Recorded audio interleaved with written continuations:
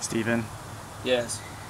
um, what is something that you do consciously or maybe unconsciously now that you probably never thought you would do before? Power windows, designed to be beautiful, tested to stay that way for years. Um,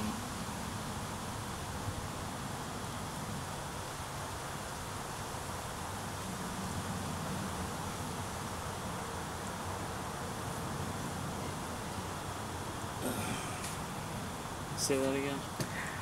What is something that you do consciously now, or maybe subconsciously, or even unintentionally that you would never have done before, that you catch yourself doing now, consciously or unconsciously? Um, consciously or unconsciously that I do now that I've never done before.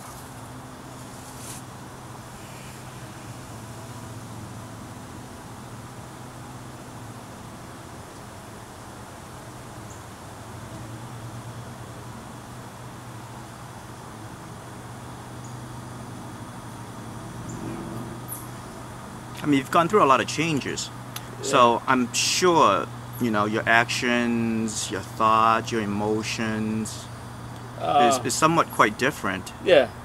Um, You know, I mean, there must be some must be something that you do now that you would probably never have thought that you would be doing. That you would Uh, do in the past.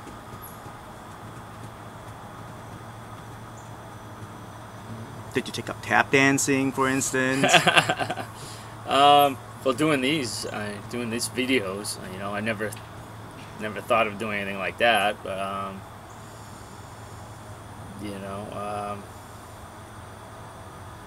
working with the kids um, at the Boys and Girls Club and that kind of stuff. Um, you know, before I was always about, you know, probably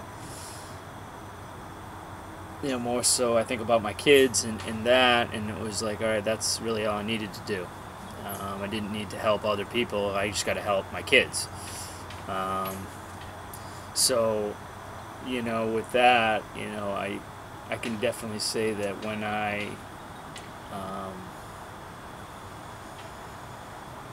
you know, when I moved up here out of the house and and I basically was like, all right, I need to do something because now I'm sitting around and I have too much time on my hands, and uh, I, I basically was like, I, I have to do something, you know, whether it's volunteering, helping others in some way, shape, or form, you know. Um, it's obviously suggested that I work with another alcoholic, other addicts, which is fine. I can do that. Um, I think truth, um, honestly, I, I think that,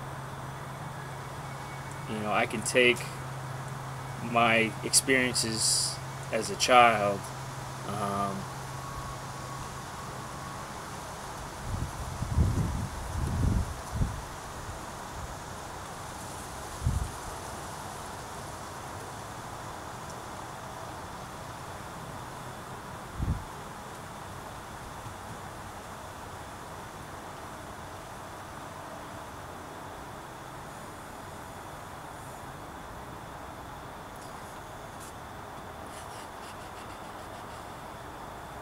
I can take my experiences as a child and um,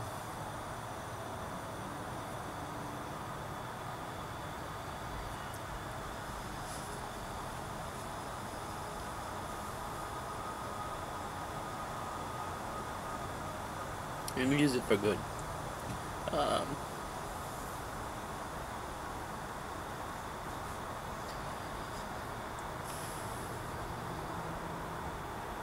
you know, it's I know it's a lot of you know, it's hard, obviously. Um, you know, it's stuff that I've dealt with for 40 years. And, um, you know, I, I think now that I'm in a better space and uh, more aware of, you know, what necessarily happen to me happens. I mean, I know that it happens to probably millions of people in the world. Um, and but uh, you know, it's kind of like I have to take, you know, the the stuff or the pain that I went through as a kid and and as an adult or whatever, and use that to do something positive. You know, because I know obviously stuff is still out there. It's probably worse now than it was when I was a kid. Uh, I don't know what's going on with this. Um, you know, I blamed a lot of that. you know, um, either consciously or unconsciously, subconsciously, whatever. Um, as to why I drank had to do drugs or had to felt the need to be loved and all that. You know, even though I was, you know, um, it was just never enough. Always feeling less than. You know, um,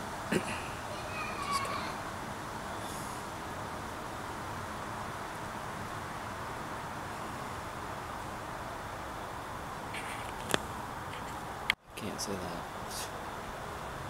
I just know that what was what was done to me, you know, was done to others, and basically, I can now use that, you know, work off of that pain um, to get back to others that are going through the same thing or similar um, things, so that they don't feel like they have to you know, do drugs or drink or to make themselves feel better about themselves, they can actually talk to somebody. And I know it's difficult because I didn't. Um, I buried that shit, you know, and it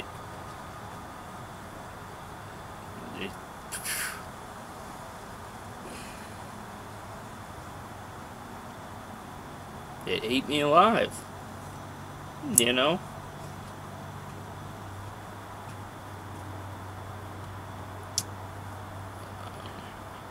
I don't know. You know, there's there's obviously ways to get through it. You know, and it's um, I've tried to reach out to. Um,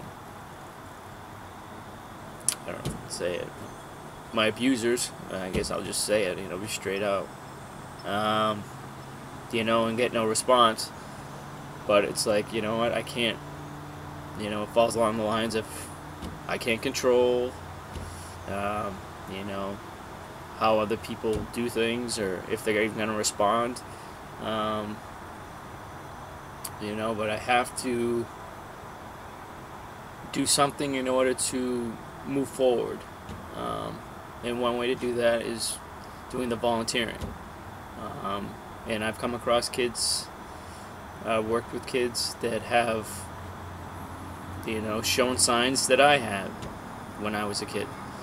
Um, you know, and it's it just scares me that you know these kids have to go through the stuff that they they're going through and they think they're alone. You know. Um,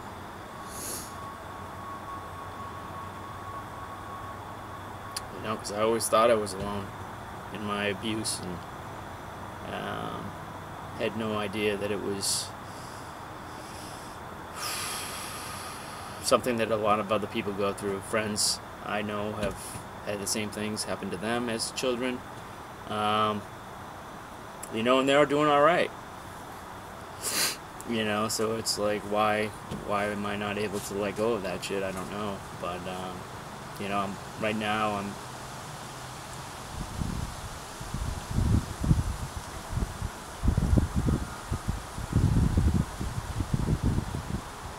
I'm trying to work through it. Um, well, obviously with your help.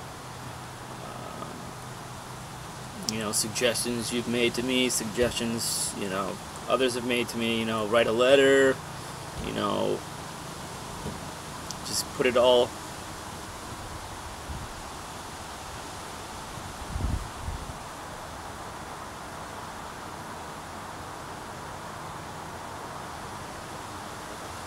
Just get it out and get rid of it. You know, because obviously it still affects me. Um,